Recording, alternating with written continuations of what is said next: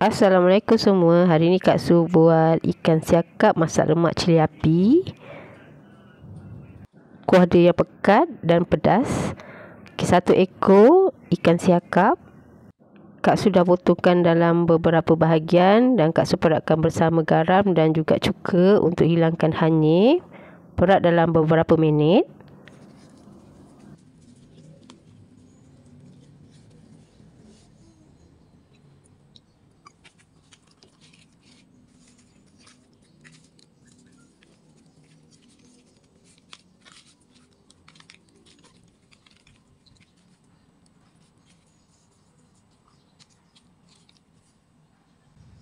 Ada cili api, bawang besar merah dan juga bawang putih. Kak Su akan kisarkan.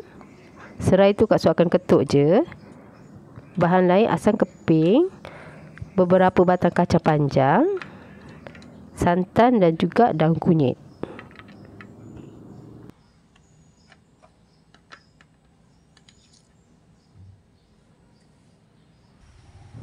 Kak sudah kisahkan lada dengan bawang tadi. Kalau gula lemak Melaka, orang tak letak bawang. Tapi Kak Su memang wajib letak lah.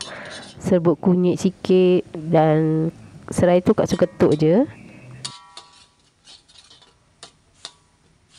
Masak sehingga air sedikit menyusut dan Kak Su letakkan sedikit gula dan garam. Sedikit santan.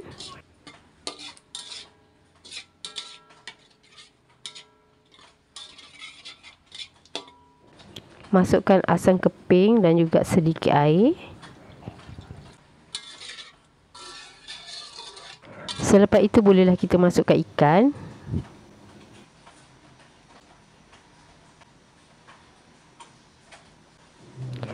Selepas beberapa minit barulah kita terbalikkan ikan tu. Jangan terlalu awal kita terbalikkan. Kita tak nak dihancur.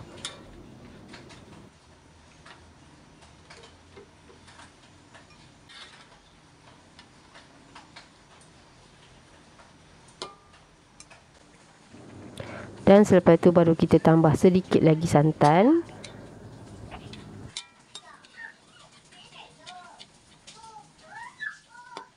Okay, masa ni kita kacau dia perlahan saja untuk mengelakkan ikan jadi hancur.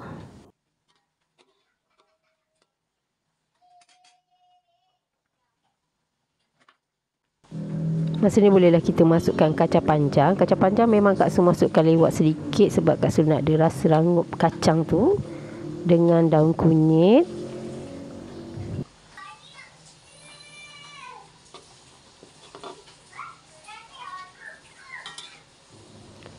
Dah masak, dah cukup rasa, bolehlah kita hidangkan.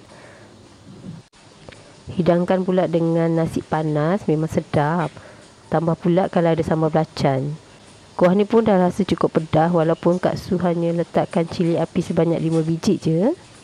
Tapi dah cukup pedas dah. Okey. Terima kasih kerana telah menonton video Kak Su. Bye.